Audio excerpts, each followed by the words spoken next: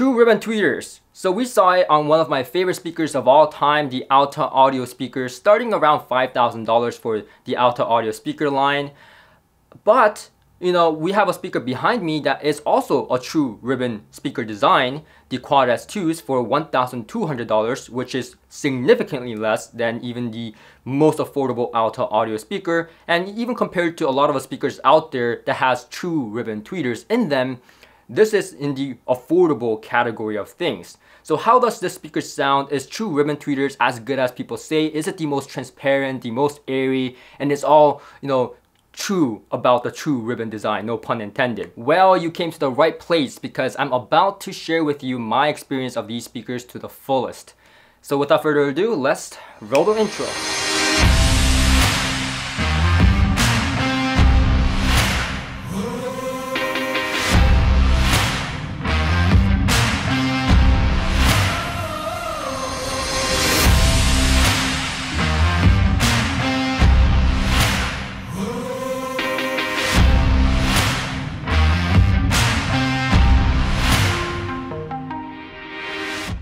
So as you see here, this is a two-way speaker with a woofer that is pretty minimal in size and also the main selling point of the speaker, the true ribbon tweeter design.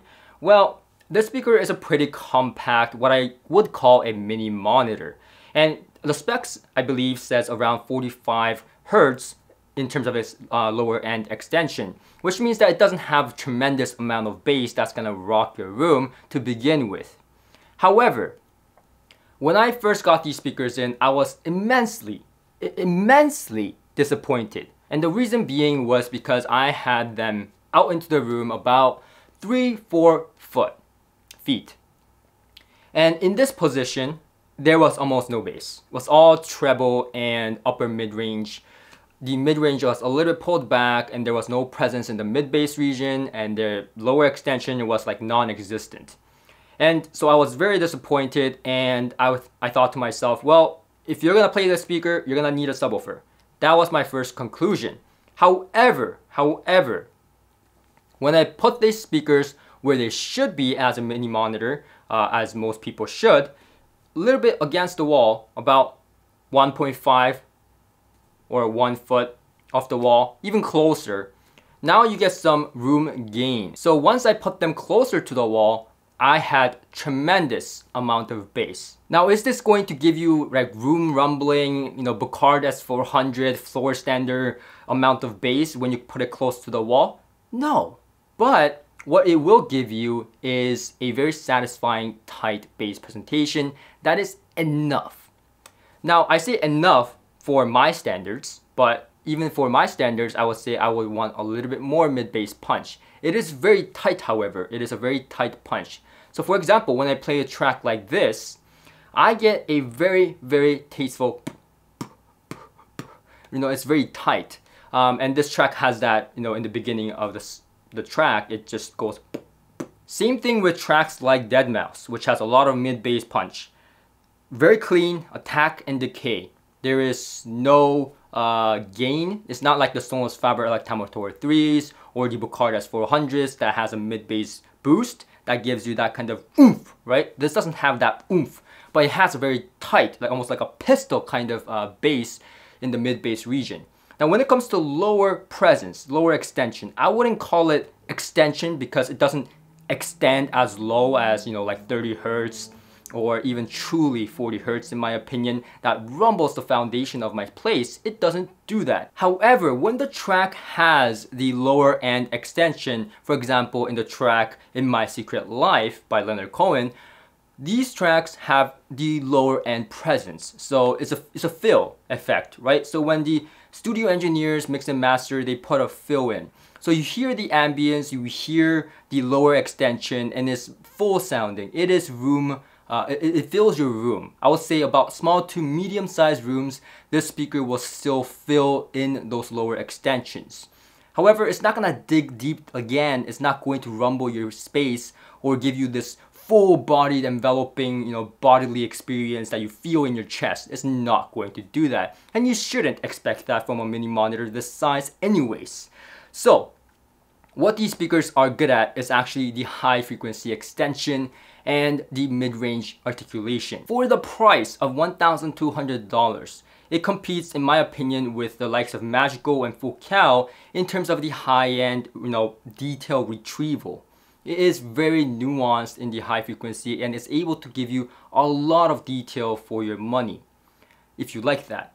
Now for me, I am more about the entire musical presentation rather than hearing every little thing in the music uh, so to speak. So for me, I do appreciate the amount of detail and these things that this speaker can do. It has a lot of air, it has a lot of detail. However, for my personal preference, I did not care for the overall presentation because the mid-range sounds rather thin sounding to me. And I think the speaker that resembles it most closely to this overall high frequency air and articulation and presentation is quite frankly a speaker that costs a heaps amount more, which is the ELAC Vela 403 speakers that I loved so much. It's not like the Alta Audios. The Alta Audio ribbon speakers are nothing like the Quad S2s behind me. The Alta Audios are laid-back speakers despite being a ribbon design, while the Quad S2s in my opinion is a more forward sounding, more engaging sounding on the top end frequencies for those that like that kind of detail and a little bit of a brighter presentation. Now these speakers are not just about detail with a true ribbon design, it is quite impressive in the soundstage it projects. The soundstage was quite a bit larger than I ever imagined for a speaker that has a true ribbon design. Now for ribbon designs, usually they are very directional. So that's one of the caveats of a ribbon design is that they're very directional. Now this speaker I didn't find it so and I was quite surprised to find that you know it wasn't as directional as I thought it would.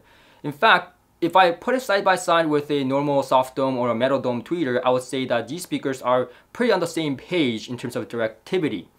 So what does that mean? Well, usually ribbon designs suffer from a, you know, a little bit of a smaller sound stage. While these speakers actually throw an enormous soundstage as a lot of mini monitors will, these speakers do exactly that. It throws an enormous soundstage that actually stretches out of my room, which is impressive and fun to hear.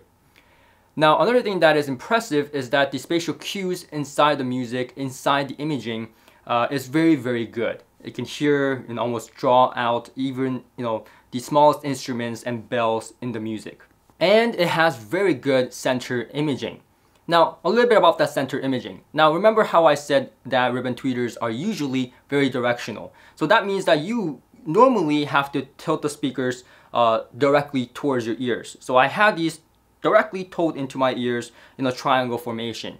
And at this moment, I hated these speakers. In this formation, I hated these speakers because I couldn't listen to it more than 30 minutes at a time. And the reason being was the vocal sibilances. So we're talking about those vocal sibilance was just absolutely terrible. I hated these speakers right off the bat. However, I experimented. I thought, you know what? I'm gonna tow them a little bit out into the room, and I my final positioning with these speakers was them facing straight out into the room and not towards me.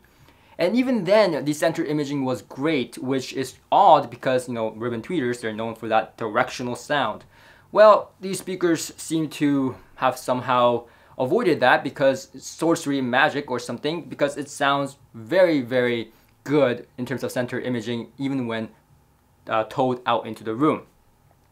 Now, even when it's towed out into the room, the vocal sibilances are just there, but it's not too excessive uh, as when I had them towed directly towards me. Now notice how I said not too excessive, not too excessive. That's a key point here. Because I think that most people, right, that like a little bit of a brighter presentation would be perfectly fine and you know appreciate the balance here. But for me, it was still too much even with the speakers towed out into the room. Now I want to emphasize that not all vocal sibilances are bad. In fact, a little bit of vocal sibilance gives you realism because when you someone says s or t, there is some articulation to go with it. But in some cases, like with the Quad S2, I found it just to be a little bit too bright, too much for my liking. The decay was just way too long and not snappy enough in those S's and T's. So for example, when I play this track, Church Bell, it, it's called Church Bell because uh, she literally sings Church Bell, and when she says ch, ch, it, it gives you a very piercing ch. Um, and I did not like that whatsoever. Same thing goes for tracks that has those kind of vocal sibilances, like in My Secret Life by Leonard Cohen. Again, in this track, I wrote some few notes here. Uh, again, instruments sound detailed and pure, so instruments have no problems. Like instruments, bells sound so pure and so right. It, it, it when the bell rings, goes and it's just very sweet, very sweet sounding. I love it. However, when I when I hear things like I miss you so much, you know, it's like so, you know, so so much, you know, it, it's just too much. Yeah, that's what it is. Too much. And you know, still making love, still, still. You know, it doesn't miss a beat. Every time I hear those s and ts and much, you know, ch, it, it's just too much of a too much of a spit. It's just a little bit too much of vocal sibilance. And when I play these tracks, I know these tracks very well. I played it with other speakers and it didn't have this problem. So this is not just the tracks as far as my experience goes. Again, your mileage may vary, this is just my experience.